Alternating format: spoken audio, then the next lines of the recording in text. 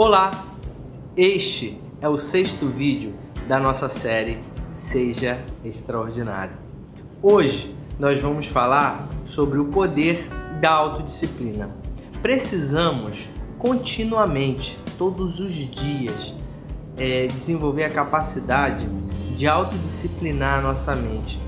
Ela trabalha com o que aparece, com o que ela recebe o tempo todo. E é por isso que a gente tem que aprender a autodisciplinar para criar um filtro do que entra e do que sai. Vou te dar um exemplo muito básico de como você não consegue controlar a sua mente, dominar a sua mente. Quer ver o seguinte? Pense numa bola de futebol. Agora, pare de pensar numa bola de futebol. Você conseguiu pensar na bola, mas você não está conseguindo parar de pensar nela. Isso demonstra claramente que você não tem controle sobre a sua mente, mas você pode filtrar e criar relações positivas ou negativas com o que entra e com o que você recebe de informação. Então vamos lá, algumas maneiras de como a gente pode conseguir criar uma autodisciplina da nossa mente. A primeira é o seguinte: domine a sua língua. Pense antes de falar. Não fale o que você está pensando toda hora. É, sempre avalie, pois às vezes o silêncio vale mais do que um discurso inteiro.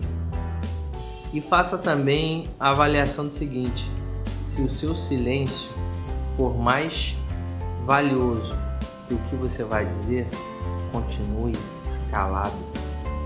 Domine a vontade de se vingar e revidar.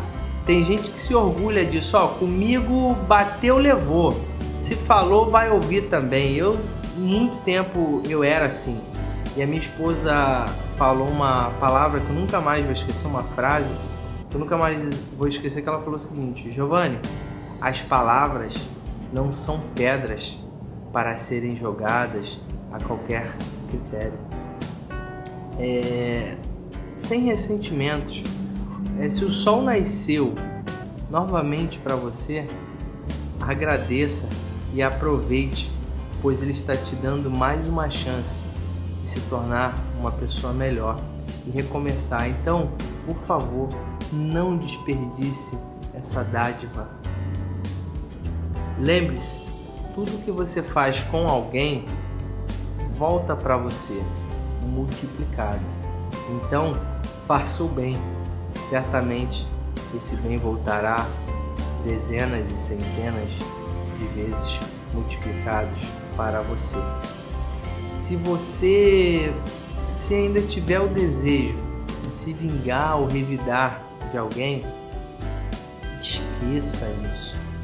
Substitua isso por desculpa, sabe? Perdão e siga a sua vida. Isso só fará mal a você. Controle e equilibre. Tenha é, controle e tenha equilíbrio sobre amor, ódio, medo, vícios e o sexo. Seja positivo. Gente, é, se você não quiser, se você achar que ah, nada dá certo, não vou conseguir nada, eu não faço, não consigo fazer nada direito, eu não consigo ganhar nada, eu não consigo realizar nada. Não precisa nem dizer, é só ficar parado e realmente nada vai acontecer na sua vida, nem de bem, nem de bom ou nem de ruim. É, quando eu falo do ser positivo, eu gosto de uma frase que eu levo desde a minha época de faculdade, que é o seguinte: arrisque tudo, mesmo que você não tenha nada. Pois se você não arriscar o seu nada, perderá a oportunidade de transformá-lo em tudo. Seu estômago precisa de autodisciplina. Então, se você consegue controlar a sua emoção, você vai ficar um pouco menos. Você não vai controlar tudo, senão você uma, não consegue ser assim. principalmente nós latinos. Mas se você conseguir ter uma, um controle emocional maior, você vai conseguir controlar o seu estômago. Então, procure controlar o seu estômago.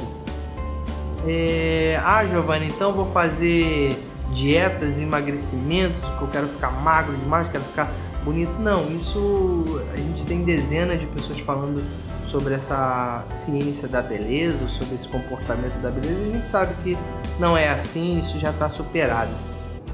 Mas e, é, a questão é do que você come. Saiba que tudo que você come vai te fazer bem ou mal. Mas quem e se você acha que está sobre com sobrepeso, que está gordo demais ou magro demais, é, não é você que tem que decidir isso. Procure um médico. Não se automedique quando a questão é a sua saúde. Médico, saúde. Saúde, médico. Se informe, tenha pelo menos é, conceitos básicos sobre religião, política, ciência, tecnologia, profissão, pessoas, cultura, esporte e entretenimento. A intolerância ela é baseada principalmente no desconhecimento. Somos intolerantes com algo, religião, opção sexual ou o que for, principalmente por desconhecimento. Falar, ah, não, Giovanni, mas eu sou religioso, eu não aceito de qualquer maneira o homossexualismo. É, eu não estou falando aqui para você deixar de aceitar ou não. A questão não é essa. A questão, quando você tem conceitos básicos, você passa a respeitar. O conhecimento te traz respeito ao próximo. É, e por último, para finalizar esse vídeo, encontre um mentor, alguém que te inspire, que você admire. Busque se informar como essa pessoa chegou aonde ele está, faz o que ele faz, o porquê ele faz, como ele faz.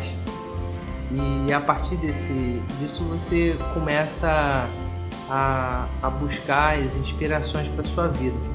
Mas pense no seguinte: não é idolatria, não é você querer ser aquela pessoa, é você querer se inspirar naquela pessoa. E saiba do seguinte: é, aquela pessoa tem erros e falhas e limitações, assim como você. E eu vou contar uma história. Eu sou advogado, então eu comecei a, a me inspirar e a buscar meus, as minhas referências em vários advogados, tanto no Brasil quanto no exterior e comecei a pesquisar sobre as vidas deles. E em alguns deles, não muitos, mas alguns deles, eu comecei a perceber que houve, ele, houve, eles não tiveram ética ou princípios. Foi no braço ali, sabe, na, no golpe, vamos dizer assim. E aí eu comecei a me decepcionar sobre aquilo. Só que eu comecei a perceber que eu não estava me inspirando eu estava querendo ser como ele. Então, a grande. E quando eu percebi isso, eu me reformulei, porque independente do que ele fez, ele comete erros, assim como eu, assim como você. Então, não ache que seu mentor será o seu ídolo ou você será igual aquela pessoa, não. Ela tem erros e tem limitações. Busque conhecer a vida deles. E a partir daí, você segue a sua vida e se motive. Seja extraordinário, seja bem-vindo.